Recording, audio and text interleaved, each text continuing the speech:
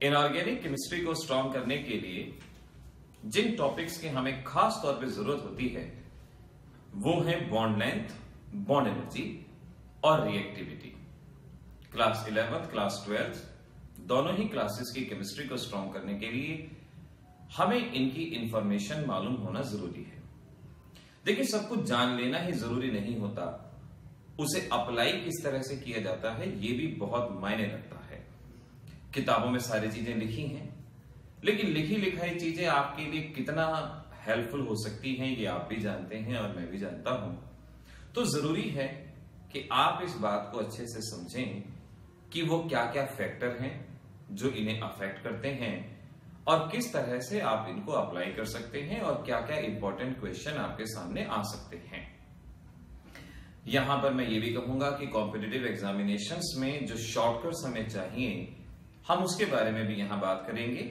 चाहे नीट का पेपर हो, चाहे जेई का पेपर हो, वहाँ पर भी किन शॉर्टकट्स की आपको ज़रूरत पड़ेगी, इसके बारे में सीखने की कोशिश करेंगे।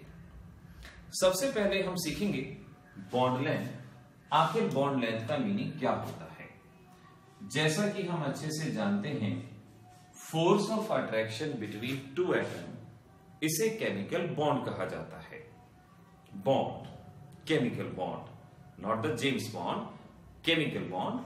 The force of attraction between two atom is called as bond. अब इन दो एटम के न्यूक्लियस के बीच की डिस्टेंस जिसे इंटर न्यूक्लियर डिस्टेंस कहा जाएगा। इस इंटर न्यूक्लियर डिस्टेंस को बॉन्ड लेंथ कहा जाता है। So length of the bond is called as bond length maximum terminology उनके मीनिंग उनके नाम के अंदर ही अवेलेबल होता है। ये याद रखने के कुछ शॉर्टकट्स हैं। जैसे कहा गया बॉन्ड लेंथ यानी length of the bond is called as bond length remember so inter nuclear distance between two atom इसे बॉन्ड लेंथ कहा जाएगा। बॉन्ड लेंथ को अफेक्ट करने वाले फैक्टर कौन से रहेंगे? सबसे पहले हमें साइज़ के फैक्टर पे ध्यान देना होगा। नाउ साइज़ का मीनिंग हम समझ सकते हैं। Size size of atom so you can understand अगर एटम का साइज़ छोटा होगा तो ये एक दूसरे के नज़दीक होंगे। और बॉन्ड लेंथ कम होगी। अगर एटम का साइज़ बड़ा होगा, एक दूसरे से दूर होंगे और बॉन्ड लेंथ ज़्यादा होगी। तो मैं कह सकता हूँ size is directly proportional to bond length जितना बड़ा साइज़ उतनी ज़्यादा बॉन्ड लेंथ अगर हमसे पूछा जाए H F H C L कहा बॉन्ड लेंथ ज़्यादा होगी तो हाइड्रोजन सेम है फ्लोरीन क्लोरीन बड़ा साइज़ क्लोरीन का तो यहाँ जवाब ऑटोमेटिकली आ जाएगा कि कहाँ पर बॉन्ड लेंथ ज़्यादा होगी। तो इस तरह से साइज़ के बारे में देखा हमने। सबसे पहले आपको हमेशा साइज़ का फैक्टर ही अप्लाई करना चाहिए। अगर साइज़ का फैक्टर अप्लाई नहीं हो रहा सपोज़ दोनों एटम सेम हैं, आप साइज़ के फैक्टर को अप्लाई नहीं कर पा रहे तो हमें अगली चीज़ ध्यान देनी है जिसे मल्टीप्लिसिटी कहा जाता है। ना मल्टीप्लिसिटी का मीनिंग है number of bonds between two atom दो एटम के बीच में कितने बॉन्ड बने हुए हैं, इसे मल्टीप्लिसिटी कहा जाता है। सपोज़ मैं कहता हूँ carbon carbon carbon double bond carbon यहाँ हमें बताना है किसकी बॉन्ड लेंथ ज़्यादा है? अब देखिएगा, मैंने शुरू से कहा कि फैक्टर जान लेना सफिशियंट नहीं है, उन्हें किस सीक्वेंस में अप्लाई किया जाए, ये बात मायने रखती है। अगर आप साइज़ के फैक्टर को यहाँ अप्लाई करने की कोशिश करो, कर ही नहीं सकते। क्योंकि दोनों के दोनों सिमिलर एलिमेंट हैं साइज़ का फैक्टर अप्लाई नहीं होगा।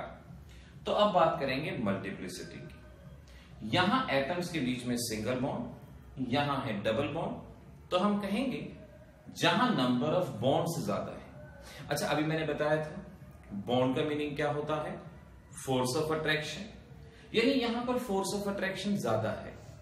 अगर फोर्स ऑफ़ अट्रैक्शन ज़्यादा होगा तो एटम नज़दीक होंगे और बॉन्ड लेंथ कम होगी। तो अब हम क्या जनरलाइजेशन निकाल सकते हैं? More the number of bonds between two atom smaller will be the bond length तो यहाँ पर हम कहेंगे डबल बॉन्ड लेंथ स्मॉलर होगी as compare to single bond length तो हम जनरलाइजेशन को ऐसे कहेंगे, जितने ज़्यादा नंबर ऑफ़ बॉन्ड होंगे, उतनी बॉन्ड लेंथ कम रहेगी। आपको तुरंत याद हो जाएगा। साइज़ का फैक्टर हो गया मल्टीप्लिसिटी का फैक्टर ये हो गया। अगला फैक्टर है number of lone pairs number of lone pairs जितने ज़्यादा होंगे, उतना lone pair bond pair repulsion ज़्यादा होगा। और lone pair bond pair repulsion ज़्यादा होगा तो बॉन्ड लेंथ ज़्यादा होगी। फॉर एग्ज़ाम्पल ये समझिए A B A lone pair B अब आपसे पूछेंगे, बताएँ, किसकी बॉन्ड लेंथ ज़्यादा है?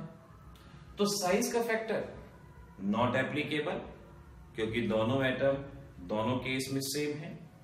मल्टीप्लिसिटी अगेन नॉट एप्लीकेबल क्योंकि सिंगल बॉन्ड सिंगल बॉन्ड तो अब चलेंगे हम लोन पेयर पे। जितने ज़्यादा lone pair lone pair bond pair आपस में एक दूसरे को रिपेल करते हैं। केमिस्ट्री की ये बेसिक सी बात है, जिसे valence shell electron pair repulsion कहा जाता है, एक दूसरे को रिपेल करेंगे। रिपेल करने की वजह से बॉन्ड लेंथ ज़्यादा हो जाएगी तो हम कहेंगे सेकेंड केस में बॉन्ड लेंथ ज़्यादा है। सो so, जितने ज़्यादा लोन पेयर होंगे उतनी ज़्यादा बॉन्ड लेंथ होगी। इस बात को यहाँ पर समझ पाएँगे। और हम क्या पाएँगे? तो ऐसे हम बॉन्ड लेंथ के बारे में कुछ बातें यहाँ से सीख पाएँगे। अब कुछ पर्टिकुलर क्वेश्चंस आपको अच्छे से क्लियर होने चाहिए।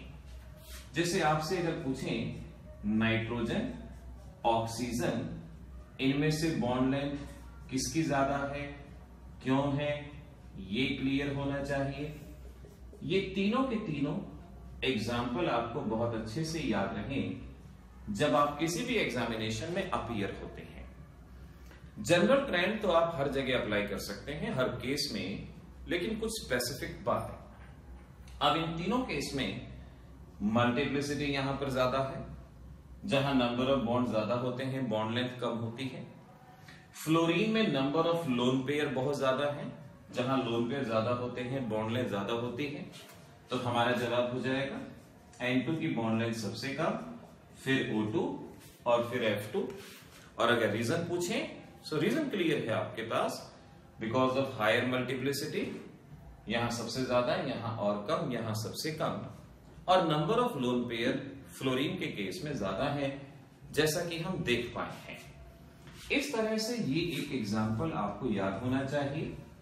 अब साथ के साथ, अगर आपसे पूछें एल्कीन एल्कीन एल्काइन यहाँ पर बॉन्ड लेंथ में अरेंज करना है। एल्कीन एल्कीन एल्काइन तो जवाब आपके पास है। एल्कीन में सिंगल बॉन्ड एल्कीन में डबल बॉन्ड एल्काइन में ट्रिपल बॉन्ड तो सबसे ज़्यादा बॉन्ड लेंथ किसकी हुई? बताएँ जरा। जहाँ पर नंबर ऑफ़ बॉन्ड ज़्यादा होंगे, उसकी बॉन्ड लेंथ कम होगी। तो सबसे कम बॉन्ड लेंथ कहाँ हो जाएगी? एल्काइन के अंदर। ये यहाँ पे जवाब रहेगा। अब आपके लिए मैं एक सिंपल सा क्वेश्चन देता हूँ। इंपॉर्टेंट मार्क रखना, ये आपको आना चाहिए कि आपको बताना है F2 और Cl2 इनमें से किसकी बॉन्ड लेंथ ज़्यादा है? टारगेटेड क्वेश्चन ये आपको आना चाहिए। और अगर मैं कहूँ अल्काइल फ्लोराइड अल्काइल क्लोराइड यहाँ बॉन्ड किसके साथ है? तो इस पूरे टॉपिक में से ये कुछ सिलेक्टेड क्वेश्चन आपको बहुत अच्छे से याद होने चाहिए। ये दो मैंने बताए, ये दो आप सॉल्व करें। अगर हो सके तो इनके जवाब कमेंट सेक्शन में आप लिखें, मुझसे कंफर्म करें। अदरवाइज़ ये आपको अपने नोटबुक में ज़रूर लिख के रख लेने हैं। अब देखिए, हमने बॉन्ड लेंथ के टॉपिक को समझ लिया। नाउ सारे कहते हैं कि बच्चों को हार्ड वर्क करना चाहिए। मैं कहता हूँ हार्ड वर्क नहीं स्मार्ट वर्क करना चाहिए। Your work should be smart enough to give you success in the little efforts smart work क्या होगा? वो अब मैं आपको बताता हूँ। देखिए बॉन्ड लेंथ हमने पढ़ ली। बॉन्ड एनर्जी पढ़ने की हमें ज़रूरत नहीं है रिएक्टिविटी भी नहीं, क्योंकि ये ऑटोमेटिकली अपने आप सॉल्व होता जाएगा। कैसे सॉल्व होगा? एक सिंपल सी बात। बॉन्ड लेंथ अगर ज़्यादा होगी बॉन्ड वीक होगा। और अगर बॉन्ड वीक होगा तो बॉन्ड एनर्जी कम होगी, जल्दी से टूट जाएगा। और अगर जल्दी से टूट जाएगा तो रिएक्टिविटी ज़्यादा होगी। रिएक्टिविटी इसी पे तो डिपेंड करती है। जितनी आसानी से बॉन्ड टूटेगा उतना ज़्यादा रिएक्टिव होगा।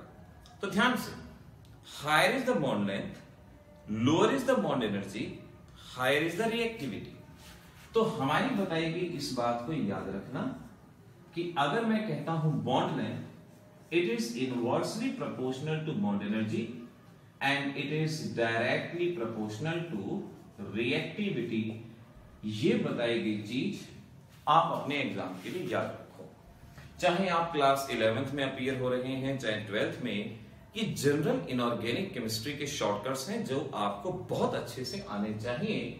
ये आप ध्यान रखें, आपको होना चाहिए। अब मैं आपको कुछ क्वेश्चंस देके छोड़ता हूँ। आपके पास इनको सॉल्व करने का पूरा समय है और जब आपसे सॉल्व हो जाए तो कमेंट सेक्शन में जवाब लिख के बताएँ ताकि हमें मालूम पड़े आप किस हद तक अचीव कर पाए। आपको इन बताए गए ऑर्डर के हिसाब से अरेंज करना है। H F H C L H B R H I in the order of acidic strength इनमें से कौन ज़्यादा एसिडिक होगा? एसिडिक वही ज़्यादा होगा जो आसानी से प्रोटॉन देगा। यानी जो आसानी से टूट जाएगा, वही स्ट्रॉन्ग एसिड होगा। ध्यान रखिएगा। आपको जवाब देना है इनके केस में रिएक्टिविटी का क्या ऑर्डर है? कौन मोस्ट रिएक्टिव कौन लीस्ट रिएक्टिव ये आपको जवाब देना है। आपका अगला जवाब ये होना चाहिए F2 और Cl2 इनमें से ज़्यादा रिएक्टिव कौन है, किस वजह से है, ये जवाब आपको देना है। तो ये तीन क्वेश्चन मैंने आपको होमवर्क के लिए दिए हैं, इनको अच्छे से ट्राई कीजिए। देखिए कैसे इन 12-13 मिनट के अंदर ही हमने तीन इनऑर्गेनिक के मोस्ट इंपॉर्टेंट टॉपिक जो reactivity strength stability acidic nature वगैरह के बारे में बताते हैं, उन्हें हमने कितना जल्दी सॉल्व कर लिया। ऐसे ही यहाँ एक और चीज़ ऐड कर दूँ। H F H C L H B R H I thermal stability के ऑर्डर में अरेंज करना। थर्मल स्टेबिलिटी का मतलब है हीट करेंगे। कौन आसानी से टूटेगा? वो लेस स्टेबल जो मुश्किल से टूटेगा, वो मोर स्टेबल सीधी सी बात है। और इसी तरह से इनको एसिडिक स्ट्रेंथ के साथ साथ रिड्यूसिंग स्ट्रेंथ में भी अरेंज करने की कोशिश करें। तो बच्चों, इस तरह से गागर में सागर भरने वाली बात है कि मिनिमम में मैक्सिमम आपको करना है। स्मार्ट तैयारी आपकी होनी चाहिए। अगर आप तैयारी करने के लिए साथ हैं तो हम तैयारी करवाने के लिए साथ हैं। आप आगे एक कदम बढ़िए, दस कदम आपके पास आएँगे, लेकिन ज़रूरत है आप जो बताया गया काम, जो होमवर्क उसे बहुत अच्छे से करें, उसके जवाब दें, और मुझे पूरी उम्मीद है कि आप अपने सक्सेस के एम को ज़रूर अचीव कर पाएँगे। उम्मीद ही नहीं, पूरा विश्वास है जो मेरे अंदर भी होना चाहिए और आपके अंदर भी होना चाहिए, इस बात को ध्यान रखें। तो देखते रहिए हमारा ये चैनल जहाँ हम जल्दी ही और भी कई वीडियो लेक्चर इसी तरह से आपकी हेल्प के लिए अपलोड करने वाले हैं। Have a nice day good day goodbye